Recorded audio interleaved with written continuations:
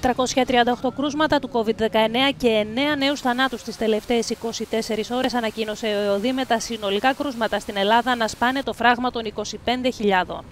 84 άνθρωποι νοσηλεύονται διασωληνωμένοι σε μονάδες εντατικής θεραπείας. Ανησυχία προκαλούν οι εικόνες συνοστισμού σε πόλεις της Ελλάδας.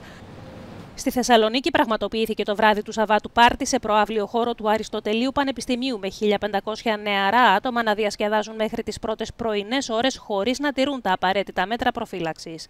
Συνοστισμός επικράτησε και στην πλατεία Αριστοτέλους με δεκάδες νέους να στέκονται ο ένας δίπλα στον άλλο χωρίς να κρατούν τις αποστάσεις για να παρακολουθήσουν ένα δρόμενο από νεαρούς.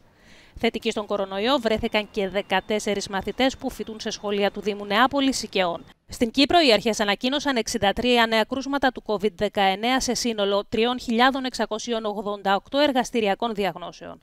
Ο συνολικός αριθμός των κρούσματων στο νησί ανέρχεται στα 2.644. Στο πλαίσιο των μέτρων που έχει λάβει η κυβέρνηση στην επαρχία Λεμεσού απαγορεύεται μετά τις 10.30 το βράδυ η λειτουργία χώρων εστίασης.